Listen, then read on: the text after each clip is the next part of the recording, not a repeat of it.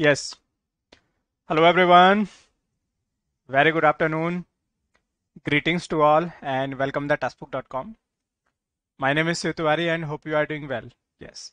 Hello everyone स्वागत है सभी का टास्कबुक.com पर मेरा नाम है सेतुवारी और उम्मीद करता हूँ कि सभी आप बेहतर होंगे चले गाइस सो so, दोपहर के दो बज चुके हैं और आप सभी को मालूम है कि दो बजे हमारा सार्क सीरीज़ जो जीके का प्रोग्राम है वो स्टार्ट होता है आईसीएआर के लिए सो so, हम लोग अवेलेबल हैं आप सभी के लिए आपका फेवरेट सेशन लेकर के।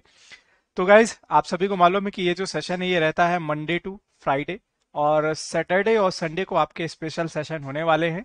मैं आपको एडवांस में अभी से बता दूँ कि इस बार सैटरडे और संडे की अपनी तैयारी ज़रूर कर लीजिएगा।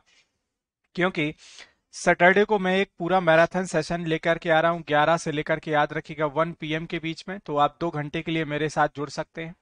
दूसरा याद रखिएगा संडे के लिए आपके बैक टू बैक सेशन है और संडे को एक तो हम लोग जो मिलेंगे याद रखिएगा, दो से लेकर के पाँच बजे तक, यानी कि तीन घंटे का मैराथन सेशन होगा। और उसके बाद अगर मैं बात करने जाऊँ तो याद रखिएगा सिक्स टू एट पीएम यानी कि दो घंटे का मैराथन सेशन सेशन होगा, ठीक है? सो जैसा कि आप सभी से वादा किया है प्रॉमिस किया है कि आपके एग्ज़ाम से पहले बहुत सारे सेशन कंडक्ट करेंगे और आपकी तैयारी को 100 परसेंट बेटर बनाने का प्रयास करेंगे। बस आपने भी अपनी तरफ़ से बहुत अच्छे तरीके से देना है ज़्यादा से ज़्यादा मॉक सेशंस लगाने हैं जितना अभी तक पढ़ा है उसका रिवीजन करना है। हम लोग अपनी तरफ़ से किसी भी तरीके से कमी छोड़ने नहीं देंगे ठीक है? चलिए गाइस स्टार्ट करते हैं हम लोग आज का सेशन ठीक है? स्टार्ट uh, करने से पहले गाइस जितने भी ये सेशन है याद रखिएगा इन सभी की जो पीडीएफ है आप इस टेलीग्राम ग्रुप से डाउनलोड कर सकते हैं। टेलीग्राम ग्रुप को ज्वाइन कर लीजिएगा at the rate Shiv sir एक और चीज़ सबसे इंपॉर्टेंट ठीक है? आज याद रखिएगा फ्राइडे को एक हम लोग रात का धमाका लेकर के आ रहे हैं दस बजे, ठीक है?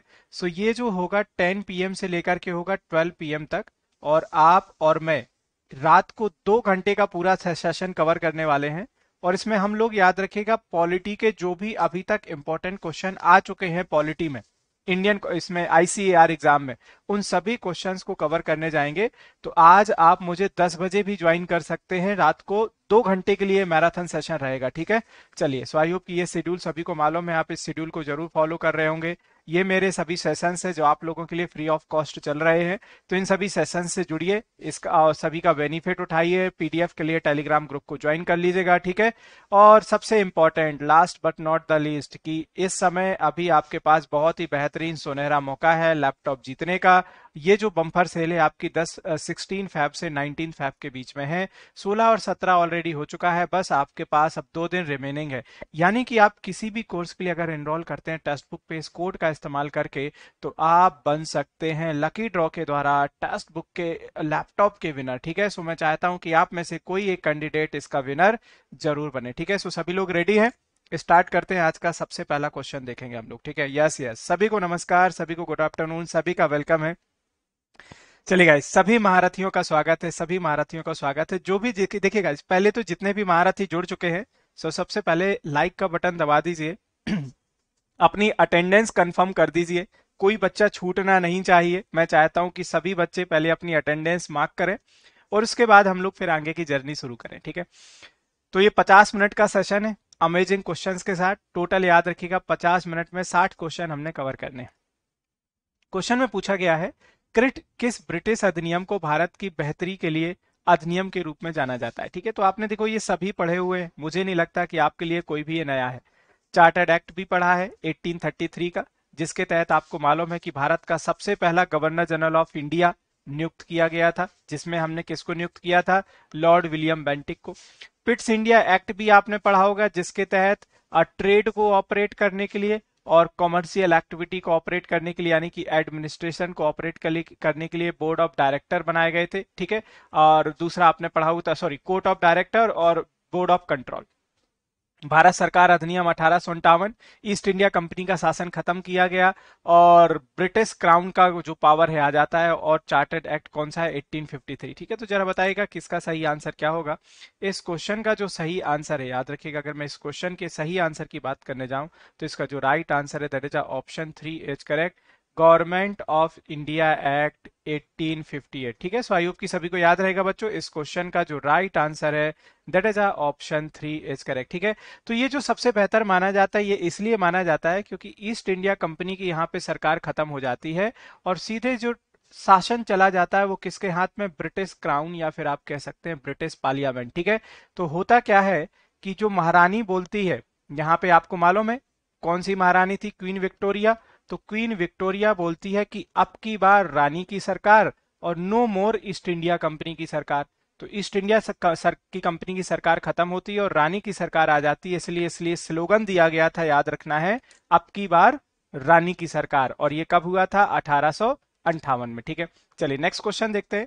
क्वेश्चन में पूछा गया है, चाणक्य चांट के लेखक कौन है? जरा बताएगा कि इसका राइट आंसर क्या होगा। तो अभी तक तो आप मंत्र के लेखक का नाम क्या था? निम्नलिखित में से किस ऑप्शन को टिक करने जाओगे?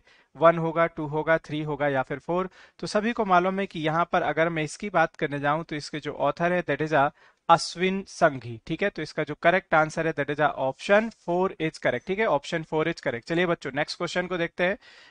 नेक्स्ट क्वेश्चन में क्या पूछा जा रहा है कि national centre of organic farming is located at तो जरा बताएगा कि इसका सही आंसर क्या होगा। वन होगा, टू होगा, थ्री होगा या फिर four which option is correct ठीक है, जल्दी से बताइएगा बच्चों, इसका राइट आंसर क्या हो जाएगा? गाजियाबाद, हैदराबाद हिसार या फिर फरीदाबाद? तो जो राष्ट्रीय जैविक खेती केंद्र है, ये निम्नलिखित में से कहाँ पर लोकेटेड है? और आई होप कि ये क्वेश्चन हम लोग कर चुके हैं। मुझे लगता है कि जहाँ तक ये क्वेश्चन रिपीटेड है, आप लोगों ने ऑलरेडी पढ़ा हुआ है इसको, ठीक है? सो so, निम्नलिखित में से इस ऑप्शन का कौन सा आंसर टिक करने जाएँगे? मैं देख पा रहा हूँ कि कमेंट सेक्शन बहुत ही स्लो चल रहा है तो कमेंट सेक्शन को थोड़ा स्पीड से चलने की ज़रूरत है। और इस क्वेश्चन का जो सही आंसर है that is option one as correct ठीक है? तो ये याद रखिएगा जो national centre of organic farming है ये आपका गाजियाबाद में स्थित है ठीक है? चलिए नेक्स्ट क्वेश्चन को देखते हैं। नेक्स्ट क्वेश्चन में मिस्टर डोंग आ चुके हैं और हमेशा की तरह मिस्टर डोंग बोल रहे हैं कि डोंग कभी रॉन्ग नहीं होता ठीक है? So yes like the session and share the session ठीक है? चलिए, अगला क्वेश्चन देखिए, क्या पूछा गया है? क्वेश्चन में बोला गया है कि हीरा कुंड बाँध किस नदी पर बना हुआ है? तो मुझे लगता है कि यार देखो, इतने आसान सवाल पूछना, कहीं ना कहीं आप सभी के सम्मान में गुस्ताखी है। क्योंकि मैं जानता हूँ कि आप देखिए बहुत ही टैलेंटेड बच्चे हैं, पढ़ने वाले बच्चे हैं रेगुलर बेसिस पे पढ़ रहे हैं। तो ये क्वेश्चन बहुत आसान है आपके लिए और इस क्वेश्चन का तो जो राइट आंसर है, बहुत ही आसानी से आप कर सकते हैं। ठीक है तो जरा बताएगा कि इस क्वेश्चन का सही आंसर क्या होगा। निम्नलिखित में से किस ऑप्शन को आप टिक करने जाएँगे? ठीक है वन हो जाएगा टू हो जाएगा या फिर थ्री हो जाएगा। और इस क्वेश्चन का जो बच्चों राइट आंसर याद रखिएगा that is option three is correct Mahanadi is the right answer ठीक है? तो इसका जो राइट आंसर होगा दैट इज़ अ महानदी, ठीक है? तो सभी को मालूम है कि जो महानदी है, ये आपके छत्तीसगढ़ में ओरिजन होता है और इसका जो मैक्सिमम भाग है वो कहाँ पर है? उड़ीसा में। और उड़ीसा में कौन सा डैम बना हुआ है, याद रखिएगा that is a Hirakud dam ठीक है? अगले क्वेश्चन को देख लेते हैं। क्वेश्चन में पूछा जा रहा है कि पंजाब विधानसभा में कितनी सीटें हैं? तो जरा बताएगा कि इसका राइट आंसर क्या होगा। अभी हाल ही में पंजाब के इलेक्शन भी होने वाले हैं और कहीं ना कहीं ये जो क्वेश्चन है बहुत ही रिलेटेबल है। ठीक है? तो जरा बताएगा कि सही आंसर क्या है। 117, 118, 119 या फिर 120 पंजाब विधानसभा की बात चल रही है। अभी आपको मालूम है कि इलेक्शन होने वाले हैं, सभी जितनी भी आपकी पार्टियाँ हैं, सभी बड़े बड़े लेवल पर प्रचार कर रही हैं और पंजाब को नशा मुक्त करने का सबसे बड़ा वादा किया जा रहा है। तो इसका जो राइट आंसर है that is option one is correct ठीक है? तो वन वन सेवन याद रखिएगा, पंजाब में टोटल विधानसभा सीट है, ठीक है? अगले क्वेश्चन में पूछा गया है, जो कुमाऊं परिषद का प्रथम अध्यक्ष निम्नलिखित में से किसको चुना गया था? तो इसका सही आंसर बताइएगा। पंडित हरगोविंद पंत को जय दत्त जोशी को भोला दत्त वकील को या फिर पंडित लक्ष्मी दत्त शास्त्री को, ठीक है? तो निम्नलिखित में से किस को पूछा जा रहा है? कुमाऊं परिषद का अध्यक्ष नियुक्त किया गया था। तो इसमें से सही आंसर बताएगा कि सही आंसर क्या होगा? वन होगा, टू होगा, थ्री होगा या फिर four? Which option is correct और इसका जो राइट right आंसर है, याद रखिएगा दैट इज़ जय दत्त जोशी, ठीक है? तो इसका जो सही आंसर है that is option second is correct ठीक है? तो जोशी साहब को याद रखिएगा, कुमाऊं परिषद का अध्यक्ष चुना गया था, ठीक है? अगला क्वेश्चन पूछा जा रहा है tropical evergreen forest are also known as तो जरा बताएगा जो ट्रॉपिकल एवरग्रीन फॉरेस्ट होते हैं ना, इनको हम लोग किस अन्य नाम से भी जानते हैं? आपने सुना तो होगा ना उष्ण कटबंधी सदाबहार वन। तो ये जो उष्ण कटबंधी सदाबहार वन है, एक तो इस वाले एरिया में पाए जाते हैं। आपने सुना होगा ये वाला एरिया देखेंगे आप। दूसरा हम लोग देखते हैं कौन सा, ये नॉर्थ ईस्ट वाला जो एरिया है तो यहाँ पर आपको सदाबहार वन मिल जाएँगे, ठीक है? तो जरा बताएगा कि इसका सही आंसर क्या होगा, और इनको हम लोग किस नाम से भी जानते हैं? ट्रॉपिकल रेन फॉरेस्ट के नाम से भी जानते हैं, याद रखिएगा, ट्रॉपिकल रेन फॉरेस्ट के नाम से भी जानते हैं, ठीक है? तो जो सही आंसर है that is option second is correct अगले क्वेश्चन में पूछा गया है कि कौन सा मार्शल आर्ट नृत्य भारत के पंजाब क्षेत्र से संबंधित है। ठीक है तो जरा बताएगा कि इस क्वेश्चन का सही आंसर क्या होगा? सिलंबम, मुकना, गटका और आदि थाड़ा तो निम्नलिखित में से कौन मार्शल आर्ट नृत्य पंज, भारत के पंजाब क्षेत्र से संबंधित है? और इसका जो सही आंसर है that is option three is correct that is a Gatka ठीक है तो ये कहाँ से जुड़ा हुआ है? आपके पंजाब से जुड़ा हुआ है। और आपने अभी पढ़ा भी था कि हाल ही में आपके जो टोटल चार ये जो रीजनल मार्शल आर्ट हैं, आपने ये पढ़े थे कि अभी हाल ही में ये स्पोर्ट्स में भी ऐड किए गए हैं, ठीक है? तो आपने सुना होगा जो केरल का था, मणिपुर का था, पंजाब का था, ठीक, और मध्य प्रदेश का था।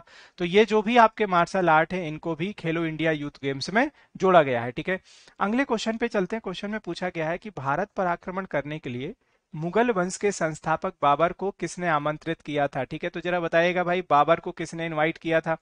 तो बाबर, जिसने तुजुक ए बाबरी लिखी, जिसने तुजुक ए बाबरी लिखी, ठीक है, आपने पढ़ा होगा तुर्किस भाषा में लिखी गई थी, ठीक है, बाबर बाबर को आपने देखा होगा, एक अपमान करता रहता था, ठीक है तो उस अपमान का बदला लेने के लिए इसके ही जो ऑफिशियल थे उसने बाबर को इब्राहिम लोधी पर हमला करने के लिए बुलाया और वहाँ पे ही आपका फिर युद्ध होता है। पानीपत का प्रथम युद्ध सभी ने पढ़ा होगा कि जो पानीपत का पहला बैटल है 1526 में हुआ और जिसके तहत बाबर ने इब्राहिम लोधी की हत्या करके मुगल साम्राज्य की स्थापना की, ठीक है?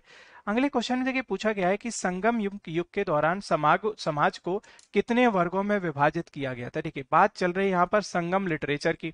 अगर आपने सुना हो, संगम जो एज है, ये बहुत ही पॉपुलर है, ठीक है? और ये जो संगम जो हम लोग बात करते हैं लिटरेचर्स की तो ये पंडा डायनेस्टी के समय में काफ़ी बड़े लेवल पे चली है। तो इसका सही आंसर क्या होगा? वन हो जाएगा टू हो जाएगा थ्री हो जाएगा या फिर four which option is correct तो निम्नलिखित में से किस ऑप्शन को टिक करने जाएँगे? वन होगा बच्चों टू होगा थ्री होगा या फिर फोर निम्नलिखित में से किस ऑप्शन को टिक करने जाएँगे? ठीक है? One, two, three and four which option is correct और इसका जो सही आंसर याद रखिएगा that is option one is correct ठीक है? तो समाज को कितने भागों में बांटा गया था? पाँच भागों में बांटा गया था, ठीक है? चलिए, अगला क्वेश्चन देखिएगा जरा। क्वेश्चन में पूछा गया है कि पशुओं की गतिविधियों द्वारा मृदा का मिश्रण किसके नाम से जाना जाता है? जरा बताएगा कि इसका सही आंसर क्या होगा? वन होगा, टू होगा, थ्री होगा या फिर four which option is correct ठीक है? बेटा बफरिंग का कोई इशू है क्या? एक बार मुझे बताइएगा बफरिंग का कोई इशू है क्या? आई होप की हाँ मे भी थोड़ा बहुत नेटवर्क में अनस्टेबिलिटी है बट आई होप कि अभी क्लियर होगा। ठीक है? आई होप कि अभी तो क्लियर होगा, अभी कोई बफरिंग का इशू नहीं है ना? हाँ थोड़ा सा नेटवर्क में आज चीज़ें ऊपर नीचे हो रही हैं, ठीक है? इसका जो सही आंसर है that is option three is correct ठीक है? इसका जो राइट आंसर है that is option three is correct ठीक है? तो याद रखिएगा that is known as the pedoturbation ठीक है? पेडो टर्बेशन ठीक है? चलिए, अब नेक्स्ट क्वेश्चन में आने से पहले मिस्टर बाहुबली आ चुके हैं और मिस्टर बाहुबली बोल रहे हैं कि like the session and share the session जय महेशमती, जय टेक्स्ट बुक की महासेना। तो बस आग लगा दीजिए, ठीक है? क्वेश्चन को देखते हैं हम लोग। क्वेश्चन में पूछा गया है क्यूआर कोड का डिज़ाइन निम्नलिखित में से किस देश ने किया है? तो जरा बताएगा कि इसका सही आंसर क्या होगा। जो हम लोग पढ़ते हैं आज के समय क्यू कोड आपने देखा होगा कि हर जगह पर आज के समय में एड भी आता रहता है। क्यू आर स्कैन करो पेटीएम करो, ठीक है? तो ये जो क्यूआर कोड होता है आज किसी भी जगह पर आपने देखा होगा, कैश कैरी करने की ज़रूरत नहीं है। आप मोबाइल में अपने वॉलेट में पैसा रखिए या अकाउंट को यूपीआई से कनेक्ट कर लीजिएगा और क्यूआर कोड को स्कैन करके आसानी से पेमेंट कर सकते हैं। तो ये सभी को मालूम है कि किसके द्वारा डेवलप किया गया है जापान। अब जापान की बात चल रही है बच्चों तो जापान की कैपिटल भी बता दीजिएगा और जापान की करेंसी भी बता दीजिएगा, ठीक है? अच्छा जापान की जब इतनी बात हो गई है तो जापान में जो याद रखिएगा, जो हिरोशिमा में जो आपका बम गिराया गया था और नागासाकी में जो आपका बम गिराया गया था, ये पार्ट भी ज़रूर पढ़ के जाएगा क्योंकि कभी कभी एग्जामिनर पूछ लेता है इमोशनल हो जाता है इन दोनों टॉपिक को लेकर के। तो लिटिल बॉय और फैटमैन दोनों की डेट याद रखनी है। कैपिटल क्या है तो सभी को मालूम होगा कि जापान की कैपिटल की बात करने जाए so that is a Tokyo और जापान की करेंसी क्या है तो दैट इज़ अ येन ठीक है, चलिए अगला क्वेश्चन देखते हैं।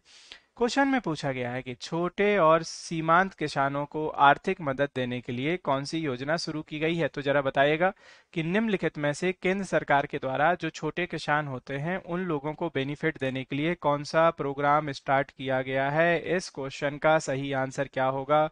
वन होगा, टू होगा, थ्री होगा या फिर four? Which option is correct ठीक है तो सभी कैंडिडेट ने बता देना है कि इसका राइट right आंसर क्या हो जाएगा। और इस क्वेश्चन का जो सही आंसर है that is integrated rural development programme. मैं यहाँ पे लिख देता हूँ बच्चों, इसको हमने लोगों ने क्या नाम दिया है? Integrated rural development programme.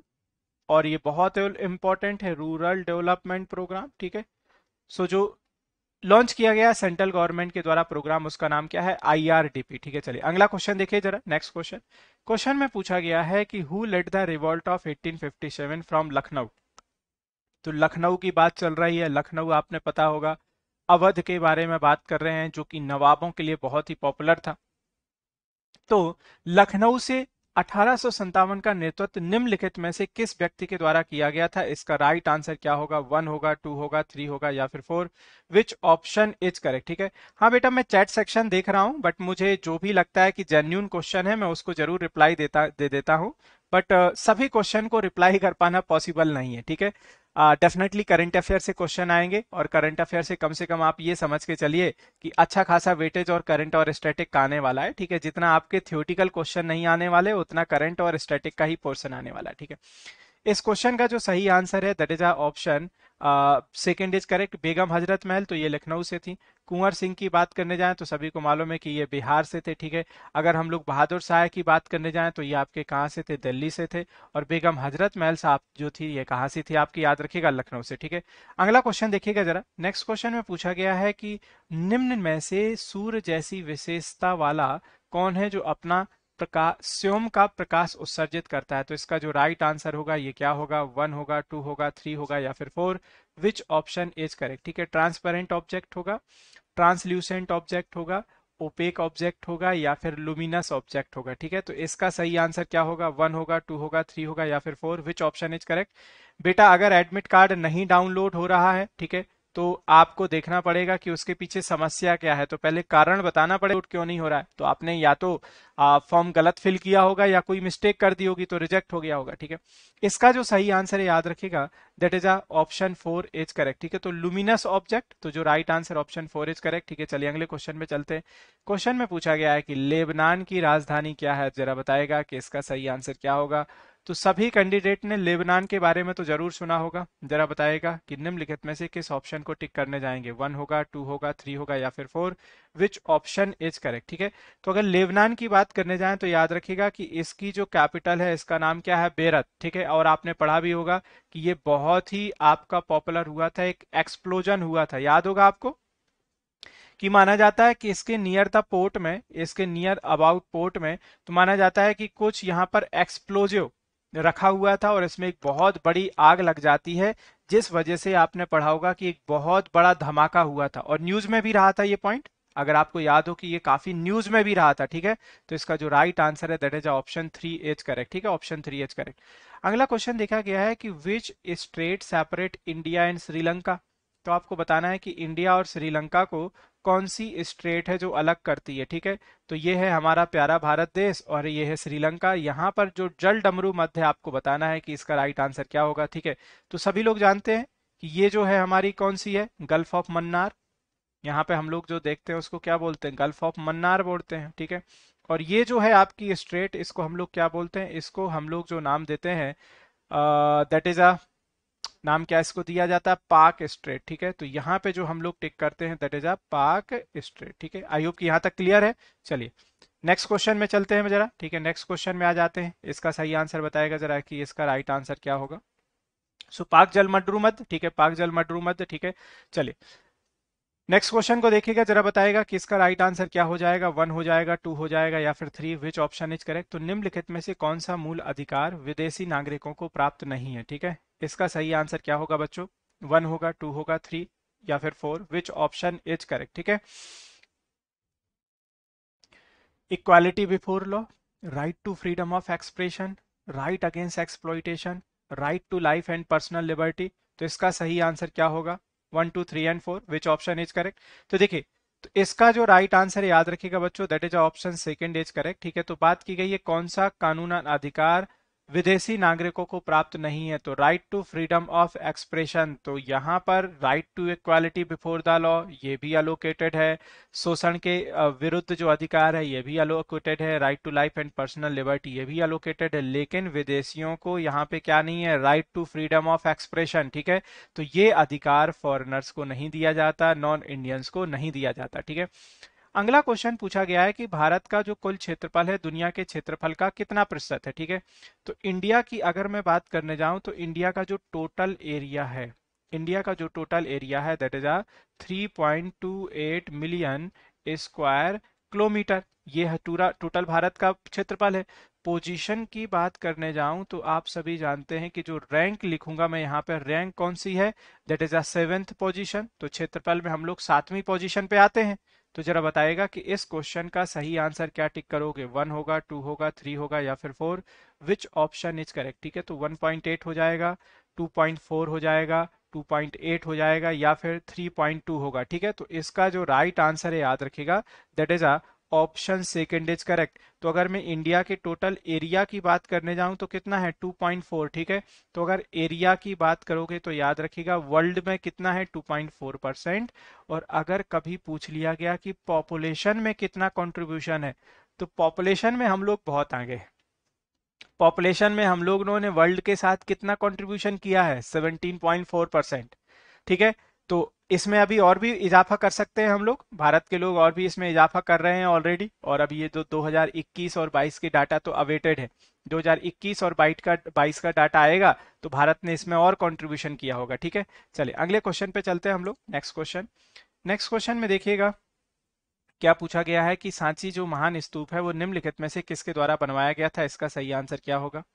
One होगा टू होगा three which option is correct ठीक है तो जल्दी से बताएगा किसका राइट आंसर क्या होगा। चंद्रगुप्त होगा, अशोक होगा, होलकर होगा, किसके द्वारा बनवाया गया ठीक है? तो सांची स्तूपा आपको मालूम है कि पहली बात तो ये आपको बुद्धिज्म से रिलेटेड है, ये जो जुड़ा हुआ है, बुद्धिज्म से है, ठीक है? अच्छा यूनेस्को हेरिटेज साइट है यूनेस्को हेरिटेज साइट में इंक्लूडेड है, ठीक है? अच्छा अब इससे बहुत सारे लोगों का जुड़ा हुआ है। देखिए, सबसे पहले तो यहाँ पे मैं राइट आंसर की बात करने जाऊँ कि किसके द्वारा बनवाया गया था तो अशोक, यानी कि मौर्य डायनेस्टी के द्वारा बनवाया गया था, ठीक है? अब देखो बच्चों, इसमें कई चीज़ें पूछी जाती हैं। सांची स्तूपा में, सांची स्तूपा की बात चल रही है कि किसके द्वारा बिल्ड किया गया? तो याद रखिएगा कि इसको बिल्ट किसके द्वारा किया गया? फिर माना जाता है कि किस व्यक्ति के द्वारा डैमेज किया गया था? किसके द्वारा डैमेज किया गया? फिर उसके द्वारा, बाद किसके द्वारा रिपेयर किया गया? फिर किस व्यक्ति के द्वारा डेकोरेशन किया गया? यानी कि इसमें सजावट की गई। तो देखिए, अगर मैं सबसे पहले बात करने जाऊँ कि इसका जो बिल्ट है वो किसके द्वारा किया गया था तो ये बनाया जो किया गया, वो किसके द्वारा? अशोक के द्वारा, ठीक है? डैमेज किसने किया? पुष्यमित्र सुंग तो माना जाता है कि जो पुष्य पुष्यमित्र सुंगा था, उसने इसको पूरी तरीके से डिस्ट्रॉय कर दिया। रिपेयर करने का काम किसके द्वारा किया जाता है? पुष्यमित्र सुंग के बेटे अग्निमित्रा सुंग के द्वारा ये रिपेयर करता है और डेकोरेशन करने का जो क्रेडिट जाता है, वह किसको जाता है? सात वाहन डायनेस्टी को, ठीक है? सात वाहन डायनेस्टी तो इतना पार्ट ज़रूर याद रखिएगा, ठीक है? चलिए, अगला क्वेश्चन देखिएगा जरा। Next question yes yes very good very good very good ठीक है? चलिए। क्वेश्चन में पूछा गया है कि the author of son of the thunders cloud तो इस किताब के लेखक का नाम क्या है? इसका सही आंसर क्या होगा? वन होगा टू होगा, या फिर three which option is correct ठीक है विच ऑप्शन इज़ करेक्ट बेटा, मेरे जितने भी पीडीएफ हैं, सब मेरे टेलीग्राम ग्रुप में मिल जाएँगे। और सभी लोग याद रखिएगा, धक्का मुक्की मत करिए। ठीक है? सभी को कमेंट करने का प्रॉपर समय मिल रहा है। आप अपने आंसर पे ध्यान दें, ठीक है? आप एक दूसरे में बातचीत ना करें, सिर्फ़ और सिर्फ़ आपको अपने क्वेश्चन को पढ़ना है और आंसर करना है, ठीक है? आपस में धक्का मुक्की नहीं करना है, किसी से आपस में लड़ना भी नहीं है, ठीक है? चलिए, अब जरा बताएगा कि इसका राइट आंसर क्या होगा? कि सन ऑफ़ थंडर क्लाउड के जो लेखक हैं वो कौन है? निम्नलिखित में से किस ऑप्शन को टिक करेंगे? और 350 कैंडिडेट हो चुके हैं तो जल्दी से गाइस सभी लोग एक बार जुड़ करके लाइक और शेयर का बटन दबा दीजिए, ठीक है? जितने भी कैंडिडेट ने अभी भी बटन लाइक का नहीं दबाया है तो लाइक का बटन दब, ज़रूर दबाना है और यस सेशन को लाइक और शेयर ज़रूर करना ठीक है? तो इसका जो राइट आंसर है that is option second is correct ठीक है? याद रखिएगा कि ईस्टरिन कीर ठीक है? तो इस किताब के जो लेखक है वो कौन है? Easterine Kire is the right answer so option second को यहाँ पे टिक करते हुए चलेंगे ठीक है? चलिए अगला क्वेश्चन क्वेश्चन में पूछा जा रहा है कि ये जो यार पृथ्वी की जो एवरेज सरकमफिरेंस है, ये कितनी है? देखिए, इस तरह के वैसे तो क्वेश्चन बहुत कम पूछे जाते हैं, लेकिन ज्योग्राफी में इससे रिलेटेड कई बार क्वेश्चन ज़रूर पूछ लिए जाते हैं कि जो पृथ्वी की अगर मैं औसतन सरकमफेरेंस की बात करने जाऊँ तो जरा बताएगा कि कितनी टिक करने जाओगे? वन होगा टू होगा थ्री होगा या फिर four which option is correct और इस क्वेश्चन का जो राइट आंसर है that is option three is correct याद रखिएगा फोर थाउज़ेंड किलोमीटर ठीक है? फोर थाउज़ेंड किलोमीटर अगले क्वेश्चन में चलते हैं पूछा जा रहा है। निम्नलिखित में से किसने कहा था, कहा था कि अठारह का विद्रोह एक राष्ट्रीय विद्रोह था जो गहरे अविश्वास में निहित था। तो जरा बताएगा पहले तो सबसे इंपॉर्टेंट हिंट दी गई है कि it was a national revolt rooted in deep mistrust ठीक है तो जरा बताएगा कि इसका सही आंसर क्या होगा। देखिए अठारह के विद्रोह के बारे में अलग अलग लोगों का अलग अलग इसमें कथन है। कुछ लोग इसको राष्ट्रीय विद्रोह नहीं मानते, कुछ लोग इसको राष्ट्रीय विद्रोह मानते हैं। तो ये जो स्टेटमेंट है, ये किसका है याद रखिएगा? बेंजामिन का, ठीक है? बेंजामिन का और इसका जो राइट आंसर हो जाएगा ऑप्शन वन इज़ करेक्ट, ठीक है? Option one is correct. लेकिन अगर एक्चुअल में देखा जाए, ये याद रखिएगा, एक्चुअल में देखा जाए तो ये जो रिवॉल्ट था, ये कहीं ना कहीं सिर्फ़ नॉर्थ तक ही सीमित था। ना तो ये बॉम्बे प्रेसिडेंसी में था और ना ही ये मद्रास प्रेसिडेंस में था। अगर इसको देखा जाए तो सिर्फ़ और सिर्फ़ ये नॉर्थ तक नॉर्थ तक ही सीमित था। अगले क्वेश्चन में क्या पूछा गया है कि निम्नलिखित में से कौन सा तब बनता है जब नदी बहुत कम ढाल पर होती है? तो इसका सही आंसर क्या होगा? ज्योग्राफी का बहुत ही फेवरेट क्वेश्चन है। ज़रूर बताएगा कि सही आंसर क्या टिक कर पाएँगे? वन होगा, टू होगा, थ्री हो या फिर फोर? सुसंप्राय भूमि, ठीक है? ऑक्सो झील सहायक नदी या फिर नदी की शाखा, ठीक है? निम्नलिखित में से किस ऑप्शन को टिक करने जाएँगे? वन होगा टू होगा थ्री होगा या फिर four which option is correct और इसका जो राइट right आंसर याद रखिएगा that is option second is correct ठीक है? ऑक्सबो लेक तो इसका जो correct answer option second is correct अगले क्वेश्चन में चलते हैं। क्वेश्चन में देखिए क्या पूछा गया है कि coins of which of the following dynasty so standing tiger with its tail upraised on the on one side and an elephant तो निम्नलिखित में से किस राजवंश के सिक्के एक तरफ़ उठी हुई पूंछ के साथ बाघ और एक तरफ़ हाथी को दर्शाते हैं? तो जरा बताएगा कि इस क्वेश्चन में किस ऑप्शन के साथ जाएँगे आप? ऑप्शन वन के साथ जाएँगे टू के साथ जाएँगे थ्री के साथ जाएँगे या फिर फोर के साथ जाएँगे? और इसका जो सही आंसर है दर्जा ऑप्शन सेकेंड इज़ करेक्ट तो बात चल रही है किस डायनेस्टी की, याद रखेगा चोल डायनेस्टी की बात चल रही है, ठीक है? तो जो करेक्ट आंसर होगा that is option second is correct ठीक है? अगला क्वेश्चन आकार की दृष्टि से सौर मंडल में जो भी आपके प्लानिट है, उन सभी का सही ऑर्डर बताना है तो जरा बताएगा हम लोग साइज़ के अकॉर्डिंग बात कर रहे हैं साइज़ के अकॉर्डिंग तो जरा बताएगा साइज़ के अकॉर्डिंग सबसे बड़ा कौन सा होगा? जुपिटर जुपिटर ही तो टिक करते हो, और सबसे डाउन में कौन आ जाएगा? मरकरी अब आप बाकी सभी को आसानी से भरना शुरू कर दीजिए। तो पहले जुपिटर हो गया फिर सैटर्न हो गया, फिर यूरेनस हो गया और उसके बाद नेपचून हो गया। तो आई होप कि आप आसानी से इसका सही आंसर टिक कर पाएँगे। और इसका जो सही आंसर है that is option one is correct ठीक है? ऑप्शन वन इज़ करेक्ट तो जो सही आंसर है, याद रखिएगा साइज़ के आधार पर बात कर रहा है, वो भी किस ऑर्डर में? डिसेंडिंग ऑर्डर में, ठीक है? तो इसका जो सही answer option one is correct ठीक है? अगला क्वेश्चन क्वेश्चन में पूछा गया है कि in the context of Mughal administration the term zabt refer to which system तो आपने एक प्रणाली पढ़ी होगी जिसका नाम था जाप्ती सिस्टम। जाप्ती प्रणाली के बारे में ज़रूर आपने पढ़ा होगा। दूसरा एक सिस्टम देखा होगा जिसका नाम क्या था बच्चों? दहसाला प्रथा। सो आई होप कि ये भी सभी को याद होगी। दहसाला प्रथा भी आपने पढ़ी होगी, ठीक है? तो इसका सही आंसर बताएगा कि इसका राइट आंसर क्या होगा? वन होगा टू होगा या फिर three which option is correct guys जितने भी कैंडिडेट देख रहे हैं यार सेशन को लाइक और शेयर ज़रूर करते चला जाएगा आप लोग सेशन को लाइक और शेयर नहीं करते तो डेफिनेटली थोड़ा सा लगता है कि आपकी तरफ़ से जोश की कमी है, ठीक है? इसका जो राइट आंसर है, याद रखिएगा that is option second is correct तो सभी को मालूम है कि ये जो जाप्ती सिस्टम है दहसाला प्रथा की मैं बात करने जाऊँ तो ये किससे जुड़ी हुई है? राजस्व, यानी कि लैंड रेवेन्यू से जुड़ी हुई, ठीक है? अगले क्वेश्चन में देखिए, पूछा गया है कि which among the following oceans is spread over one by third of the area of the earth ठीक है? तो निम्नलिखित में से कौन सा ऐसा महासागर है, जो लगभग, याद रखेगा कि पृथ्वी का, अगर मैं बात करने जाऊँ तो पृथ्वी का 28 परसेंट जो है भाग कंट्री कवर करता है तो सबसे लार्जेस्ट भी होगा। और दूसरा अगर मैं बात करने जाऊँ तो सबसे कैसा भी होगा? डीपेस्ट भी होगा। तो इस क्वेश्चन का सही आंसर क्या टिक करोगे? ठीक है वन होके जाएगा टू होके जाएगा या फिर थ्री को होकर के जाएगा विच ऑप्शन इज़ करेक्ट तो सभी को मालूम है कि यहाँ पे जो राइट आंसर है that is option one is correct that is a Pacific Ocean तो याद रखिएगा, सबसे डीपेस्ट भी है और दूसरा साइज़ के आधार पर अगर मैं बात करने जाऊँ तो सबसे कैसा भी है, ये लार्जेस्ट भी है, ठीक है? अगले क्वेश्चन में चलते हैं। क्वेश्चन में पूछा जा रहा है, निम्नलिखित में से किस समिति ने पंचायतों में महिलाओं के लिए आरक्षण की सिफारिश की थी? तो निम्नलिखित में से कौन सी वो कमेटी थी? जो वोमेन रिजर्वेशन के बारे में बात करती है, कि पंचायत सिस्टम में भी रोमेन रिज़र्व वुमेन रिजर्वेशन होना चाहिए। पंचायत सिस्टम आर्टिकल 40 के बारे में बात कर रहे होंगे पार्ट नाइन्थ के बारे में बात कर रहे होंगे सेवेंटी थर्ड अमेंडमेंट 1992 के बारे में बात कर रहे होंगे, और सभी को मालूम होगा कि जब भी हम लोग पंचायत सिस्टम की बात करते हैं, जब भी हम लोग पंचायत सिस्टम की बात करते हैं तो हम लोग ग्यारहवीं शेड्यूल की बात करते हैं, जिसमें टोटल 29 सब्जेक्ट इंक्लूड किए गए, ठीक है? चलिए, अगला क्वेश्चन देखते हैं हम लोग नेक्स्ट क्वेश्चन क्वेश्चन में ये पूछा गया है हाँ यहाँ पे जो राइट right आंसर है, याद रखेगा that is option one and two both are correct यानी कि यहाँ पे जो राइट right आंसर हो जाएगा ऑप्शन फोर इज़ करेक्ट ठीक है? चलिए, अगला क्वेश्चन अच्छा चलो बेटा, मैं अपना नाम लिख करके दे देता हूँ। ये मेरा नाम लिख दिया है मैंने, अब दूसरे लोगों को परेशान करना बंद कर दो, ठीक है? और वो कहते हैं ना डायलॉग है ना, नाम में क्या रखा है, ठीक है? तो ये मेरा नाम है और आप थोड़ा सा तसल्ली रखो और पेशेंस रखो, ठीक है? अब जरा बताइएगा कि इसका राइट आंसर क्या होगा? निम्नलिखित में से कौन सी झील विश्व की सबसे गहरी झील है, ठीक है? सबसे डीपेस्ट पूछी गई है, इसका सही आंसर क्या होगा? विच ऑप्शन इज़ करेक्ट सबसे डीपेस्ट की बात की गई है, ठीक है? जल्दी से बताएगा कि करेक्ट आंसर क्या टिक कर पाएँगे।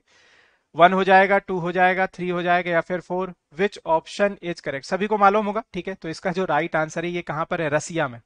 इसको हम लोग बोलते हैं लेक बैकाल ठीक है? कहाँ पर लोकेटेड है? याद रखिएगा रसिया में लोकेटेड है। सबसे डीपेस्ट है लेकिन इसका ज़्यादातर जो एरिया रहता है मैक्सिमम अगर एरिया की मैं बात करने जाऊँ तो ये याद रखिएगा फ्रोजन रहता है लगभग बर्फ़ से जमा ज, जमा रहता है और ये सबसे आपकी डीपेस्ट है ठीक है? बैकाल झील की बात कर रहे हैं ठीक है?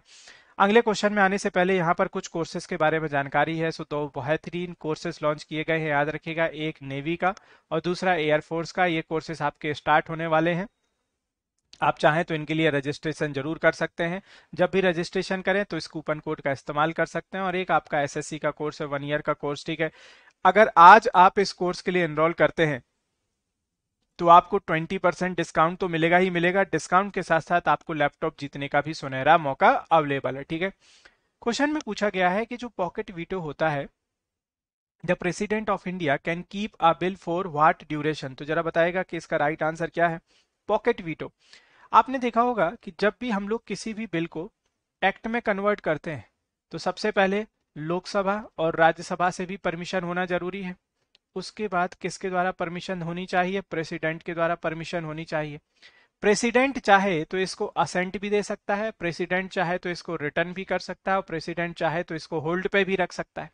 ठीक है? तो यहाँ पे जो टाइम है, याद रखिएगा पॉकेट वीटो का ही अगर मैं बात करने जाऊँ तो इसका कोई भी टाइम डिफाइंड नहीं है। There is no time define for the pocket veto प्रधानमंत्री जब तक चाहे तब तक अपनी इसको पॉकेट में डाल सकता है। उससे कोई भी व्यक्ति नहीं पूछेगा कि प्रधानमंत्री जी, आपने कितने समय, राष्ट्रपति जी, आपने कितने समय के लिए इस बिल को अपनी पॉकेट में रखा हुआ है। ठीक है, अगले क्वेश्चन पे चलते हैं।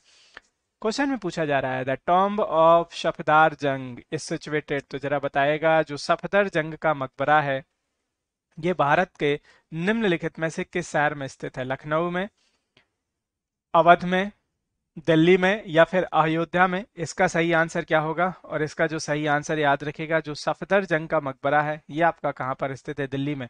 अच्छा इसके अलावा और भी मकबरे पूछे जाते हैं बच्चों। खासतौर से याद रखेगा जो मुगल राजा हैं। मुगल राजाओं के मकबरे ज़रूर पढ़ने हैं, जैसे बाबर का मकबरा तो ये आगरा आराम बाग में भी और काबुल में भी है। हुमायूं का मकबरा दिल्ली में स्थित है। अकबर का सिकंदरा, आगरा में, ठीक है? फिर बात करते हैं जहांगीर का, देश से बाहर है लाहौर में। शाहजहां का, आगरा में है, ताजमहल में। औरंगज़ेब का, कहाँ पर है? तो याद रखिएगा, औरंगाबाद, महाराष्ट्र में है, ठीक है? शेरशाह सूरी का कहाँ पर है? बिहार, सासाराम में है। तो ये जो इंपॉर्टेंट शासक है, उनके मकबरे ज़रूर पढ़ के जाएगा ठीक है? अगला क्वेश्चन क्वेश्चन में पूछा गया है कि whose work out of the following is associated with the Johar valley ठीक है? तो निम्नलिखित में से किसका काम जो हर घाटी से जुड़ा हुआ है, इसका सही आंसर क्या होगा? One two three and four which option is correct जल्दी से बताएगा।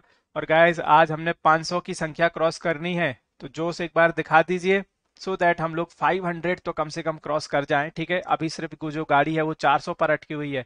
तो आज याद रखिएगा 500 से ऊपर जाना है सो सभी लोग दबा के लाइक और शेयर ठोंक दीजिए, ठीक है? इसका जो राइट आंसर है that is option one is correct याद रखिएगा डॉक्टर शेर सिंह, ठीक है? हाँ पांगटे तो जो राइट आंसर हो जाएगा ऑप्शन वन इज़ करेक्ट अगला क्वेश्चन पूछा जाए कि जो सर्वेंट ऑफ़ इंडिया सोसाइटी है, इसकी स्थापना किसके द्वारा की गई थी? तो सभी को मालूम होगा कि ये बंगाल में स्थापित की गई थी।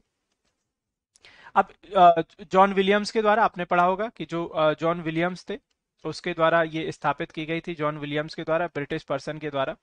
तो ये कब स्थापित की गई थी? इसका सही आंसर बताना है। वन होगा, टू होगा, थ्री होगा या फिर four which option is correct और इसका जो राइट right आंसर याद रखिएगा ऑप्शन वन इज़ करेक्ट तो आपको दो तीन चीज़ें याद रखनी है बच्चों। दो तीन चीज़ें ये इंपॉर्टेंट है, देखिए। 1905 को कैसे याद रखोगे? ठीक है? जरा समझो। एक बहुत ही काम की बात बताता हूँ। काम की बात क्या है कि 1905 को कैसे याद रखना है? तो 1905 को एक तो ये याद रखना है कि सर्वेंट ऑफ़ इंडिया सोसाइटी की स्थापना की गई थी। दूसरा हम लोग कौन सा पढ़ते हैं? बंगाल पार्टीशन भी पढ़ते हैं। ये भी बहुत इंपॉर्टेंट है, ठीक है। बंगाल पार्टीशन के बाद तीसरा और एक और याद रखना, इसी से आपका कौन सा जुड़ा हुआ है? ब्लडी संडे भी जुड़ा हुआ है। जो ब्लडी संडे की हम लोग बात करते हैं ना, जो हैपन हुआ था, खूनी रविवार, वो भी 1905 से ही जुड़ा हुआ है, ठीक है? तो ये जो इंपॉर्टेंट फैक्ट है, ज़रूर पढ़ के जाना है, ठीक है? बंगाल पार्टीशन तो मालूम ही है। अगला क्वेश्चन पूछा गया है कि सीहोर में जामा मॉस्क का निर्माण करने वाले राजा का नाम बताएगा जरा। राइट आंसर क्या होगा? One two three and four which option is correct तो जो सीहोर एमपी का भाग है, सभी को पहले तो ये बहुत मालूम होना चाहिए कि मध्य प्रदेश का एरिया है सीहोर।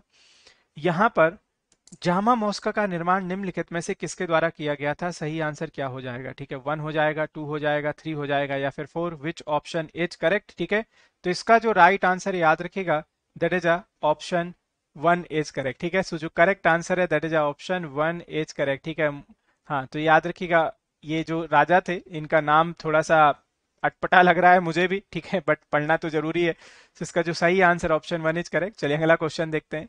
क्वेश्चन में पूछा जा रहा है कि नबाक लेवारा ठीक है तो ये जो फेस्टिवल है, ये निम्नलिखित में से किस स्टेट में मनाया जाता है, ठीक है? बताएगा जरा इसका सही आंसर क्या होगा? आंध्र प्रदेश, उड़ीसा में, मध्य प्रदेश में या फिर अरुणाचल प्रदेश में। तो निम्नलिखित में से भारत के किस स्टेट में, ठीक है? हाँ नबाक ले बारा, जो फेस्टिवल है, ये सेलिब्रेट किया जाता है। इसका सही आंसर क्या होगा? वन होगा, टू होगा, या फिर थ्री होगा? और इस क्वेश्चन का जो सही आंसर याद रखे बच्चों that is option one is correct ठीक है? Orissa is the right answer Orissa is the right answer ये जो सेलिब्रेट किया जाता है उड़ीसा में उड़ीसा में अगर मैं बात करने जाऊँ तो बच्चों, इसमें हम लोग पूरी फेस्टिवल के बारे में भी पढ़ते हैं। पूरी भी फेस्टिवल होता है। फिर आपने एक पढ़ा होगा, नौकाही फेस्टिवल ये भी यहाँ पर सेलिब्रेट किया जाता है। कलिंगा फेस्टिवल के बारे में भी सुना होगा। तो बहुत सारे फेस्टिवल है जो आपके सेलिब्रेट किए जाते हैं उड़ीसा में। अगला क्वेश्चन पूछा जा रहा है कि मोहनदास गांधी को 1915 में दक्षिण अफ्रीका में एंबुलेंस सेवाओं में योगदान के लिए एक पुरस्कार दिया गया था और केशरी हिंद का टाइटल दिया गया था। तो ठीक है तो जरा बताइएगा कि ये किस व्यक्ति के द्वारा दिया गया था? अब देखो, हम महात्मा गांधी की अगर जीवनी की बात करें तो उन्नीस, अठारह में ये साउथ अफ्रीका चले जाते हैं और 1915 तक महात्मा गांधी साउथ अफ्रीका में रहते हैं। अच्छा वहाँ पर महात्मा गांधी क्या करते हैं कि जो युद्ध चल रहा था ब्रिटिशर्स का, दूसरे लोगों के साथ, उसमें महात्मा गांधी अपनी एक एंबुलेंस सेवा देते हैं। उस एंबुलेंस सेवा के लिए अंग्रेज़ों के द्वारा भी महात्मा गांधी की बहुत ही प्रशंसा की जाती है और महात्मा गांधी को एक केसर हिंद का टाइटल दिया जाता है। अच्छा इस केसर हिंद जो टाइटल की बात कर रहे हैं ना बच्चों, ये टाइटल इनके द्वारा लिप भी कर दिया जाता है। ये कब? जब 1919 में जलियावाला बाग हत्याकांड की घटना होती है। तो जब जलियावाला बाग हत्याकांड की घटना होती है तो उन्नीस सौ उन्नीस में इस टाइटल को त्याग भी दिया जाता है। यहाँ पे जो राइट आंसर है, याद रखिएगा option second is correct Lord Hardinge की हम लोग बात कर रहे हैं तो यहाँ पे जो करेक्ट आंसर हो जाएगा that is option second is correct ठीक है? तो सभी को मालूम है कि दिल्ली दरबार जो है लॉर्ड हार्डिंग के समय ही हुआ था। दिल्ली दरबार की जो घटना हुई थी, ये आपके कब हुई थी? लॉर्ड हार्डिंग ठीक है? अगला क्वेश्चन देखते हैं हम लोग नेक्स्ट क्वेश्चन क्वेश्चन में पूछा जा रहा है कि the fourth Buddhist council was held in which state, ठीक है? तो जरा बच्चों बताइएगा कि इसका सही आंसर क्या होगा। तो बुद्धिज्म में हम लोग टोटल चार प्लस टू, यानी कि टोटल छह काउंसिल पढ़ते हैं, ठीक है? याद रखिएगा, जब भी बुद्धिज्म की बात करते हैं तो टोटल छह काउंसिल देखते हो। पहली, आपको मालूम है कि 483 बीसी में होती है, दूसरी होती है 383 बीसी में, तीसरी होती है आपकी 250 बीसी में, और जो चौथी हम लोग पढ़ते हैं 72 या फिर 78 एडी में। तो बात चल रही है चौथी, और चौथी कहाँ पर होती है? जम्मू कश्मीर में या कुंडल वन में? जो पहली होती है, दूसरी होती है और तीसरी होती है। ये याद रखिएगा, तीनों की तीनों जो होती हैं वो आपके कहाँ पे होती हैं? बिहार में, ठीक है? पहली होती है आपके कहाँ पर? ग्रीवरेज या राजगृह। दूसरी होती है आपकी कहाँ पर? वैशाली में। तीसरी होती है पाटलिपुत्रा में। और चौथी जो कंडक्ट कराई जाती है, वो सभी को मालूम है कि किसके द्वारा? कनिष्क के द्वारा, ठीक है? कनिष्क के द्वारा, ठीक है? चलिए अगला क्वेश्चन क्वेश्चन में देखिएगा जरा क्या पूछा जा रहा है। चलिए, अगला क्वेश्चन देखिए क्या पूछा जा रहा है कि निम्नलिखित में से किस मुगल शासक ने अपनी सफलता का श्रेय सैयद बंदियों को दिया हुआ था? ठीक है तो जरा बताएगा ये जो सैयद बंधु थे अब्दुल्ला खां और हुसैन अली खां, इन सैयद बंधुओं को किस नाम से जाना जाता है? किंग मेकर का टाइटल मिलता है, ठीक है। किंग मेकर का इनको टाइटल दिया गया है। ठीक है, जरा बताएगा कि सही आंसर क्या होगा। वन होगा, टू होगा, थ्री होगा या फिर four which option is correct चलिए बच्चों, काफ़ी जोश दिखाई दे रहा है सभी के अंदर। मैं देख पा रहा हूँ कि सभी लोग चैट में लगे हुए हैं, ठीक है? सभी लोग चैट में सही लिखे हुए हैं, ठीक है? तो जरा बताएगा कि इसका सही आंसर क्या होगा? वन होगा, टू होगा या फिर three which option is correct ठीक है? तो निम्नलिखित में से किस ऑप्शन को टिक करने जाएँगे? और इसका जो राइट आंसर याद रखिएगा दर्जा फर्रुख सियर तो माना जाता है कि जो फर्रुख सियर था, ये सैयद जो ब्रदर थे, इनके हाथ का क्या था? पपेट पपेट का मतलब समझते हो ना? कठपुतली। तो माना जाता है कि सैयद ब्रदर थे और दूसरा लॉर्ड क्लाइव ये कहीं ना कहीं इनके इनके इनके हाथों का क्या बन जाता? है पपेट बन जाता है, ठीक है? तो लॉर्ड क्लाइव बहुत सारी परमिशन ले लेता है फर्रुख सियर से और सैयद ब्रदर जो है इसको अपने हाथ का कठपुतला बनाए हुए थे, ठीक है? चलिए, अगला क्वेश्चन आने से पहले देखा जा रहा है कि हाउस द जोस गाइस तो प्लीज़ मुझे एक बार चैट सेक्शन में ज़रूर बताइएगा हाउस द जोस और यस सब लोग लगा, दबा के लाइक और एक बार शेयर और ठोंक दीजिए, ठीक है? सो दैट कम से कम 500 का जो संख्या है, हम लोग उसको जल्दी से अचीव कर लें, ठीक है? क्वेश्चन में देखिए, क्या पूछा गया है कि भारत के निम्नलिखित में से किस राज्य में बंजर भूमि सबसे अधिक है, ठीक है? तो इसका सही आंसर क्या टिक कर पाओगे? So which Indian state has the largest waste land in India so question देखिए आई होप की आंसर बहुत क्लियर है। इसमें ज़्यादा बताने की ज़रूरत ही नहीं है। सभी को मालूम है कि राजस्थान का जो सबसे ज़्यादा बड़ा भाग है, ये पूरा का पूरा कैसा है? डिजर्ट में है, ठीक है? और डिजर्ट का लगभग 60 परसेंट भाग राजस्थान कॉन्ट्रीब्यूट करता है तो जो सही आंसर है that is option second is correct सोचने वाली बात ही नहीं है। अगला क्वेश्चन है, जो धम्म, संस्कृत शब्द धर्म का एक भाग है। जरा बताइएगा कि सही आंसर क्या होगा। आपको मालूम है, धम्म का जो प्रचार है वो अशोक के द्वारा किया गया। जो धम्म है, महात्मा बुद्ध की जो शिक्षाएँ थी, उनका प्रचार प्रसार किसके द्वारा किया गया? अशोक के द्वारा किया गया। तो जो धम्म शब्द है वो संस्कृत के धर्म शब्द से लिया गया है, ठीक है? अब इसका सही आंसर क्या होगा? सभी को मालूम है कि ये पाली भाषा का शब्द है, क्योंकि जब भी हम लोग बुद्धिज्म की बात करते हैं तो आपको मालूम होगा कि बुद्धिज्म के जितने भी टेक्स्ट लिखे गए, वो सब किस भाषा में लिखे गए थे, ये सभी आपके पाली भाषा में लिखे गए थे, ठीक है? अगला क्वेश्चन देखिए क्या पूछा जा रहा है कि which year which layer of the atmosphere control ठीक है? जरा बताएगा कि इसका राइट right आंसर क्या हो जाएगा? कि which layer of atmosphere contains the ozone layer तो निम्नलिखित में से कौन सी ऐसी लेयर है जो कि ओजोन लेयर को कंसिस्ट करती है? इसका सही आंसर क्या होगा? वन को लेकर के जाएँगे, टू को, थ्री को या फिर फोर को, और इसका जो सही आंसर है that is option second is correct तो स्ट्रेटो स्पेयर में 90 परसेंट याद रखेगा जो ओजोन है, ये आप किसी में पाई जाती है, और दूसरा अगर मैं बात करने जाऊँ तो ये मोस्ट स्टेबल ही है। मोस्ट स्टेबल मतलब ज़्यादा यहाँ पर चेंजेस नहीं देखने को मिलेंगे, और मोस्ट स्टेबल है तो आपने पढ़ा होगा कि ये आपके एरोप्लेन्स के लिए भी उड़ने के लिए बेटर मानी जाती है, ठीक है? अगला क्वेश्चन पूछा जा रहा है कि जो लावणी है, ये निम्नलिखित में से किस राज्य से जुड़ा हुआ है? तो जरा बताएगा कि इसका सही आंसर क्या होगा? वन होगा टू होगा थ्री होगा या फिर four which option is correct ठीक है, जल्दी से बताएगा कि इसका राइट आंसर क्या होगा। और बच्चों 400 की संख्या पूरी हो चुकी है, बस आप सभी का सपोर्ट चाहिए और 100 कैंडिडेट और बाकी हैं, ठीक है? ज़्यादा नहीं है आप सभी के लिए। मैंने 500 का बस आपको बोला हुआ है कि 500 जल्दी से करिए पूरा। और वादा है मेरा आपसे कि देखिएगा अभी ये जो आने वाला नेक्स्ट वीक है, इस नेक्स्ट वीक में मैं आपके लिए आईसीआर के back to back marathon session लेकर के आऊँगा। और जितने भी आपके टॉपिक्स रह गए हैं या जितने क्वेश्चन और पॉसिबिलिटी है बनने के, उन सभी का रिवीजन कराने जाऊँगा, ठीक है? तो यहाँ पे जो राइट आंसर सभी को मालूम है that is option second is correct Maharashtra, Orissa की अगर बात करने जाए तो ठीक है, उड़ीसा की, देखो, यहाँ पे केरल की बात करने जाए तो केरल का तो सभी को मालूम है कि केरल में हम लोग ओनम सेलिब्रेट करते हैं। कर्नाटक की अगर मैं बात करने जाऊँ तो कर्नाटक में आपने सुना होगा कि यक्ष गान सेलिब्रेट किया जाता है, यक्षगान, ठीक है? चलिए, और उड़ीसा का तो सभी जानते हैं, Puri festival that is very popular अगला क्वेश्चन है कि गौतम बुद्ध का निधन निम्नलिखित में से किस स्थान पर हुआ था, ठीक है? तो पहले तो इनका जन्म की बात करने जाए तो इनका बर्थ कहाँ पर हुआ था तो फाइव सिक्सटी थ्री बीसी हम लोग देखते हैं कि इनका जो जन्म हुआ था वो कहाँ पर, कपिल वस्तु लुम्बिनी में, ठीक है? कपिल वस्तु लुम्बिनी हम लोग पढ़ते हैं ना, कपिल वस्तु लुम्बिनी अब बात की गई है कि इनकी डेथ कहाँ पे हुई? तो इनकी डेथ जो है, उसको हम लोग क्या बोलते हैं? महापरिनिर्वाण।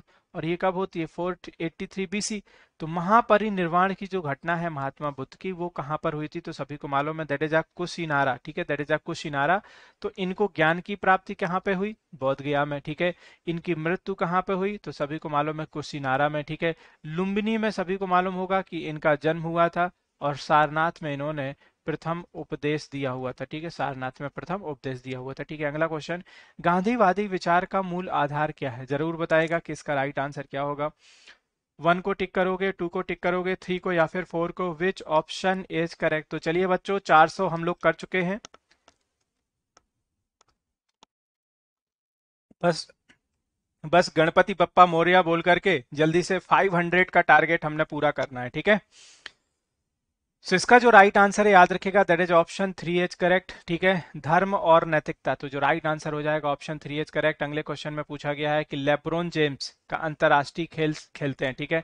तो जरा बताएगा कि ये जो प्लेयर है लेब्रोन जेम्स ये निम्नलिखित में से किस खेल से जुड़े हुए हैं? और देखूँगा अभी कि बहुत सारे कैंडिडेट होंगे जो तुक्का मारना शुरू कर देंगे, ठीक है? तो इसका जो राइट आंसर है, आपको बताना है कि निम्नलिखित में से किस स्पोर्ट्स से ये जुड़े होंगे, ठीक है? इसका जो सही आंसर है, ये क्या हो जाएगा? वन हो जाएगा टू हो जाएगा या फिर थ्री और इसका जो राइट आंसर है that is option three is correct ठीक है? तो याद रखिएगा, ये जो जुड़े हुए हैं किससे बास्केटबॉल से जुड़े हुए हैं, जो सही आंसर है ऑप्शन थ्री इज़ करेक्ट ठीक है? अगला क्वेश्चन पूछा जा रहा है कि जम्मू और कश्मीर की सीमा पर निम्नलिखित में से कौन सा राज्य स्थित है? तो जम्मू और कश्मीर की सीमा के बारे में बात किया गया है बच्चों, ठीक है? जम्मू कश्मीर की सीमा के में कौन सा राज्य स्थित है? उत्तराखंड है, पंजाब है, चंडीगढ़ है, हरियाणा है, बहुत सिंपल क्वेश्चन है। सभी को मालूम है कि अगर मैं जम्मू कश्मीर की सीमा से बात करने जाऊँ तो जो जुड़ता हुआ है आपका कौन सा? पंजाब दूसरा, आप अगर बात करते तो आप हिमाचल प्रदेश को भी टिक कर सकते थे और आप उड़ता पंजाब को भी टिक कर पाएँगे, ठीक है? लद्दाख भी टिक कर सकते थे लद्दाख, लेकिन लद्दाख अब आपका यूनियन टेरिटरी में कन्वर्ट हो गया है, ठीक है? तो जो सही आंसर हो जाएगा दैट इज़ ऑप्शन याद रखिएगा इसमें सेकेंड इज़ करेक्ट ठीक है? अगला क्वेश्चन पूछा गया है कि the city of in Haryana is known as the city of weavers तो जरा बताएगा कि निम्नलिखित में से हरियाणा के किस शहर को हम लोग बुनकरों का शहर बोलते हैं, ठीक है? इसका सही आंसर क्या होगा? वन होगा टू होगा थ्री होगा या फिर four which option is correct Ambala Sirsa या फिर गुरुग्राम या फिर पानीपत ठीक है? तो निम्नलिखित में से किस शहर को बुनकरों का शहर बोलते हैं? और जो बुनकरों का शहर बोला जाता है वो किसको बोला जाता है? पानीपत को, ठीक है? तो जहाँ पर पानीपत के तीन युद्ध हुए तो हम लोग, आपको मालूम है, तीन बैटल्स हम लोग पढ़ते हैं पानीपत के। पहला 1526 दूसरा है 1556 और तीसरा है आपका 1761 ठीक है? चलिए, अगला क्वेश्चन पूछा गया है कि द फिर रिक्त स्थान की पूर्ति करना है, का अपना हाथी अभ्यारण्य ठीक है? सो सबरीमाला श्री अयप्पा टेंपल या फिर है गुरुवायूर मंदिर, श्री पद्मनाथ पद्मनाभ स्वामी टेंपल या फिर आपको बताना है छोटा निकारा देवी टेंपल ठीक है? तो इसका सही आंसर क्या होगा? वन होगा, टू होगा, थ्री होगा या फिर four? Which option is correct और इसका जो राइट right आंसर याद रखिएगा that is option second is correct ठीक है? तो इसका जो राइट right आंसर हो जाएगा गुरुवायूर टेंपल ठीक है? ऑप्शन सेकंड इज़ करेक्ट चलिए, अब मिस्टर पुष्पा आ चुके हैं और सभी कैंडिडेट को पुष्पा राज की कसम है कि जिन्होंने अभी भी सेशन को लाइक और शेयर नहीं किया है सो लाइक और शेयर दबा के ठोंक दीजिए एकदम, ठीक है? चलिए नेक्स्ट क्वेश्चन देखिए, पूछा गया है कि निम्नलिखित में से कौन सी केंद्र शक्ति प्रदेश पुडुचेरी की मुख्य फ़सल है? तो जरा बताइएगा, पौडुचेरी की बात चल रही है यहाँ पर, पुडुचेरी। आपको मालूम है कि यहाँ पर फ्रेंच कॉलोनाइजेशन रहा है फ्रेंच कॉलोनाइजेशन और फ्रांसीसी सोलह में आए हुए थे और उन्नीस सौ चौवन में छोड़ करके जाते हैं।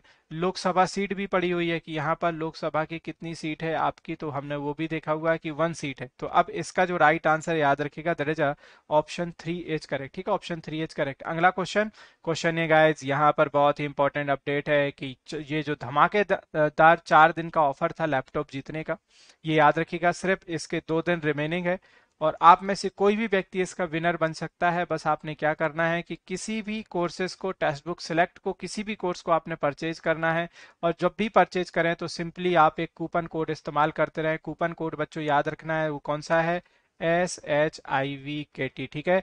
सो चलिए, ये था आज का हमारा धमाकेदार सेशन बस अब आन, जाने से पहले ये ज़रूर बता दूँ कि मेरे सेशंस की जो भी पीडीएफ है बच्चों, वो आपको कहाँ पर मिलेगी? टेलीग्राम ग्रुप पर मिलेगी। तो ये टेलीग्राम ग्रुप सभी बंधुओं ने ज़रूर ज्वाइन कर लेना है। और इसके बाद अब हमारी जो मुलाकात होगी, वो याद रखिएगा, कितने बजे होगी? चार बजे।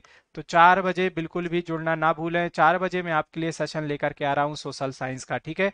और इससे जाने से पहले, जो भी कैंडिडेट अभी भी प्रैक्टिस सेशन नहीं लगा रहे हैं तो उनको मैं बता दूँ बच्चों कि प्रैक्टिस सेशन के लिए देखिए, मैं एक बहुत ही बेहतर आपके लिए अपडेट दे दूँ कि अभी ये सही टाइम है कि आपके पास सिर्फ़ सात दिन है और इन सात दिनों में जितने ज़्यादा आप प्रैक्टिस सेशन लगाएँगे, उतना ज़्यादा बेनिफिट होगा।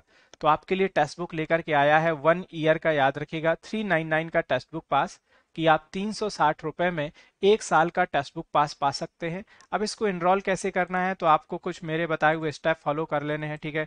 सो आई होप कि आप स्क्रीन पर ये देख पा रहे होंगे। अगर आप मे बी आपको ये पूरा विजिबल होगा तो सबसे पहले तो ये जो अब चार दिन जो धमाकेदार चल रहे हैं, लैपटॉप जीतने के सुनहरे मौके तो याद रखिएगा जो 16 फैब का जो विनर है, उसका नाम है पवित्रा घनेकर। तो मैं चाहता हूँ कि आपका भी नाम यहाँ पर आए विथ फ़ोटो के साथ, और मेरे किसी एक स्टूडेंट का ही नाम यहाँ पर आना चाहिए, ठीक है? और देखिए, अब आप टेक्स्ट बुक पास को कैसे एनरोल करेंगे तो उसके लिए बच्चों, मैं यहाँ पे बता दूँ कि आप क्या कर सकते हैं। क्या आई होप कि आप ये देख पा रहे होंगे। ये। तो आपने पहले तो क्या करना है कि सेशन को लाइक करना है शेयर करना है। चैनल को सब्सक्राइब नहीं किया है तो कर देना है बेल आइकन ज़रूर दबा दीजिएगा। शो मोर पर जाइए और शो मोर में देखेंगे तो पूरी प्लेलिस्ट मिल जाएगी मेरे सभी सेशंस की। पीडीएफ टेलीग्राम ग्रुप में मिल जाएगा, ठीक है? सो सभी सेशंस देख सकते हैं। और यहाँ पर क्लिक करेंगे तो आपको ये दिखेगा डील ऑफ़ द मंथ का, जो आपका टेक्स्ट बुक पास है। तो मंथली टेस्ट है टू नाइन नाइन में। वन ईयर का है, three nine nine lifetime five nine nine, but ये प्राइस नहीं पे करना। कूपन कोड को अप्लाई करो। कूपन कोड क्या है तो याद रखिएगा, कूपन कोड है S K T P A double S S K T pass apply करोगे तो डिस्काउंट मिलेगा। 360 में आपको वन ईयर का टेक्स्ट बुक पास मिल जाएगा। चार सौ अस्सी एग्ज़ाम है, thirty six thousand mock test है। Nine thousand previous year question है, तीन तेरह लाख साठ हज़ार बच्चों ने इनरोल किया है और आईसीएआर की बात करने जाए तो more than hundred plus mock test available है, ठीक है? सो देखिए टोटल 107 मॉक टेस्ट अवेलेबल है और 21 जो है mock test free of cost है। तो सभी मॉक सेशंस लगाइए। अगर आप यहाँ पे अच्छा स्कोर कर पा रहे हैं दैट सो दैट आपकी जो प्रिपरेशन है बिल्कुल सही लेवल की है, ठीक है? चलिए गाइस सो यहाँ पर कंक्लूड करते हैं। पीडीएफ के लिए टेलीग्राम ग्रुप ज्वाइन कर लीजिएगा एट द रेट से सर सो आज यहाँ तक ही। चार बजे फिर मुलाकात होगी हमारी आईसीएआर सोशल साइंस के सेशन में। तब तक के लिए bye bye take care and as always God bless you all